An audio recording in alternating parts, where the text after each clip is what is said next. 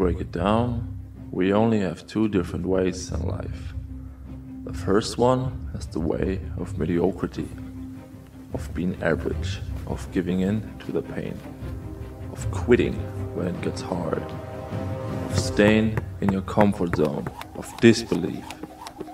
And then there's this other way, this path that I chose to walk.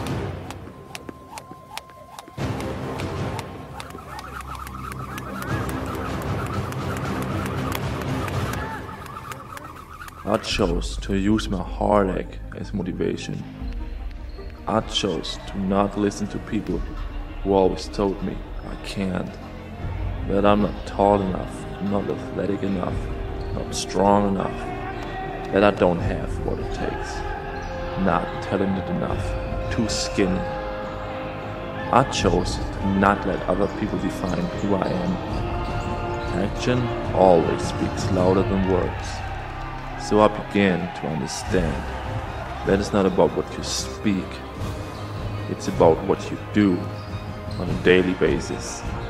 Not quitting when it gets hard, pushing through any obstacle, even if it breaks your heart or even your bones. You don't define who I am. I let my work ethic speak for me. I don't fear to be judged or to stand out. My fear is to blend in, to be forgotten, to be average. I don't fear you or your words. I already went through hell. I don't fear any man or any obstacle. I wasn't able to forget what has happened in my life. But instead of giving in to the pain, I chose to give it a meaning, let it push me, spark a fire in my soul that no man is able to put down. I am my own biggest enemy. I don't fight you or anyone else. I fight my fears, my anxieties, my doubts. And I fight the belief that it's impossible. I am not driven by the desire to please others.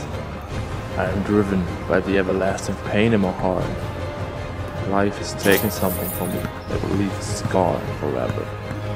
And therefore, you can't put me down. Your words, negativity don't reach me. I know that I'm able to do anything. If you really want something, you will always find a way. If you can't find a way, you gotta create one. One day, my weaknesses will be my biggest assets. One day, your attempts to put me down, to hurt me, make me want to quit, will be the reason that I succeed.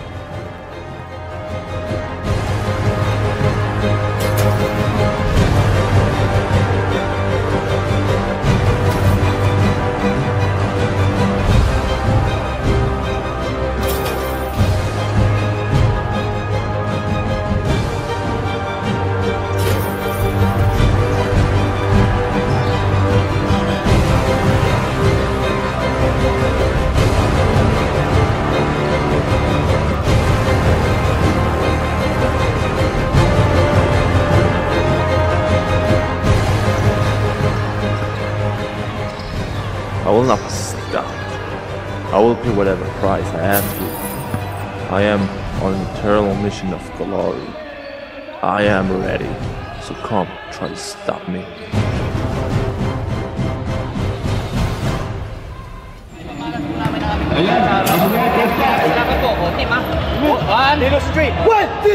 'Cause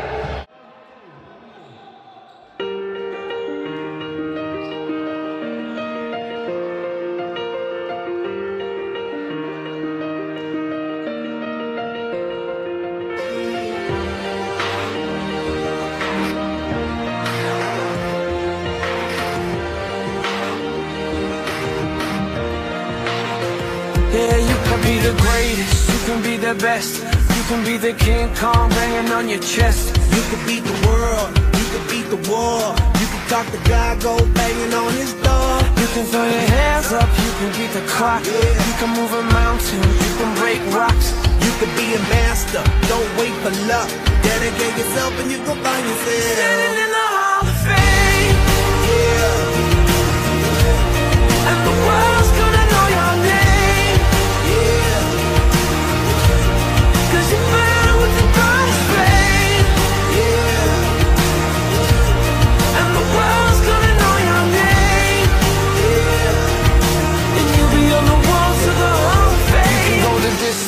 Can run the mile. You can walk straight through hell with a smile. You could be the hero, you get the gold. Breaking all the records they thought never could be broke. Yeah, do it for your people, do it for your pride. And you're never gonna know if you never even try. Do it for your country, do it for your name.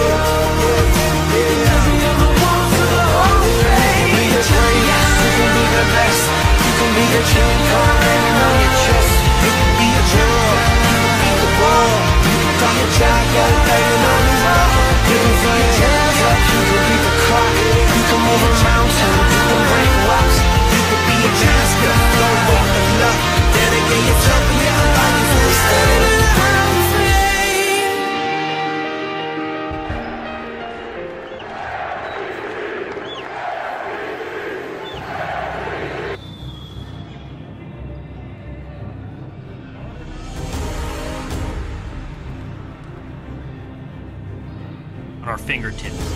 It's easy to forget how the game can grip us. That pleasing surge as the ball zips through the net, the bounce pass on the fast break, the bonds that form during a game. For one community in a devastated part of the world, the game of basketball became a lifeline, an exercise essential to survival, a moment of relief from otherwise unbearable suffering. A moment that taught the world something about hope and the power of a game.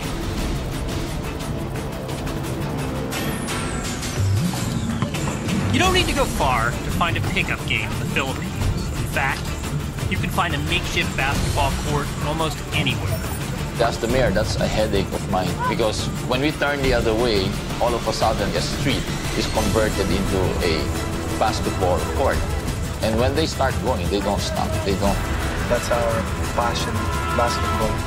Even when I was young, before I became a boxer, every day we play basketball. Well, my mother's from the Philippines, and I have a lot of family still over there. You can't even describe the love of basketball in compared to anything here in the States. It is the number one pastime, it is the number one sport, it is the number one religion in the Philippines, and I, I think it's awesome.